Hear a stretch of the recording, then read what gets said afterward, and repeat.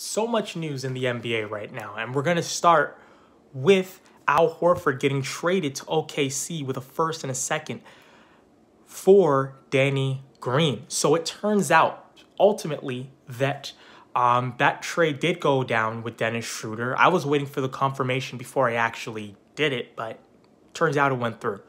So I got to make a video for that as well.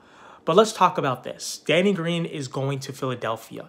He has championship experience. He still plays solid defense. Um, his sh his shooting is not what it used to be. I think we can all agree on that. But he does bring championship experience to a team that really needs it.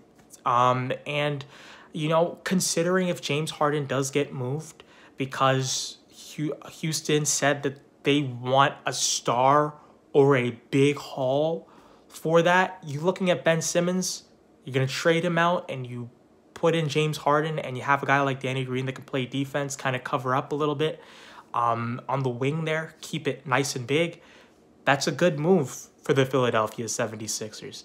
And looking at OKC, um, I I see them just wanting more picks, and they just took on Al Horford's contract, right? I think personally this means that Steven Adams might get flipped. Um, if not on draft day, maybe a little bit into the season. Uh, you know, I think that is quite possible. I think they're going to hang on to Al Horford, or maybe they keep both. They kind of see if it works before they try flipping one or the other, um, and see if this young team with Kelly Oubre, uh, Gilgeous-Alexander, Ricky Rubio, maybe they can make a little bit of a push. So, you know, and they get into that bot in that play-in tournament. So I think OKC wants to see what they have. Um, see what I did there? Uh, so ultimately, I think it's a wait and see for OKC. It's just to get the more picks.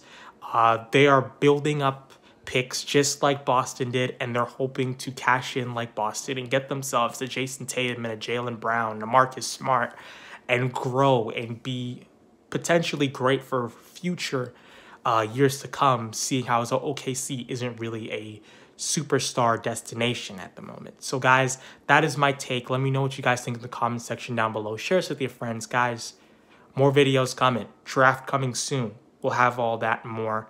Stay tuned.